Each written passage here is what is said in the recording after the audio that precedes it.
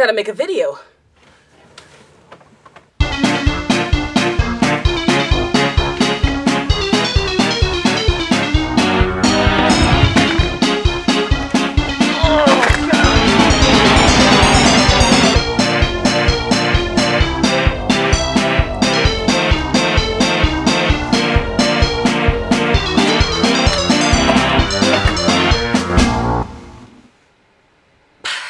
Just wanted to make a, a sequence of me running. I mean, I'm still in my room.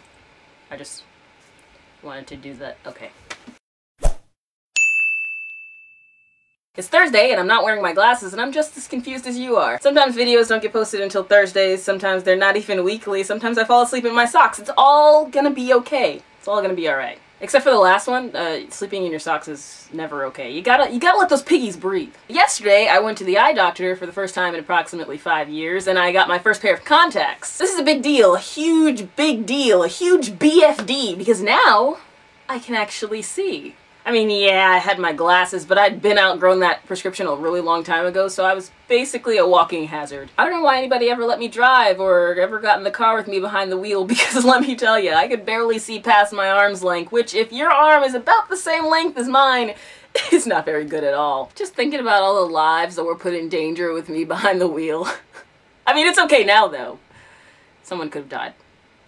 Wearing contacts is cool though because now I don't have those two bars blocking my peripheral view, further adding to my inability to see. But getting them in and out of my eyes is the struggle of all struggles. It was fine yesterday because the nurse or optic assistant or whatever helped me put them in, but when I had to go home that night, it was something. I tried to remember what the nurse said about pinching and pulling, but every time my fingers got close to my eye, my reflexive blinking just made it 10 times harder than it needed to be. So that oh was a my task. god. Putting them in is worse. This morning, after 20 minutes of trying to fish it out of the little container and finding a good position to put it on my finger, I had to figure out the best way to stick it on my eyeball. I tried doing that looking up method, but then I couldn't really see where it was going, so I got it stuck on my cheek a couple times. Don't ask me how.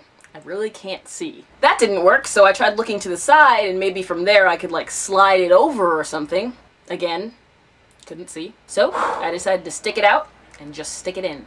That is also not fun. But that's the price you gotta pay to be able to see, I guess. It it makes me a little emotional because it's really good to be able to see clearly. Like last night when I was driving home, I happened to look up at the sky and I could see the craters in the moon. Like like who knew those were there? A very surreal moment. I almost caused a car crash, but it was totally worth it. A hazard whether I can see or not. Hey, if you want to see more of my face, follow me on Instagram. Or if you want to read some stupid posts, follow me on Twitter. Or you don't really have to, but it would be really super nice. They're the only things that give me self-worth.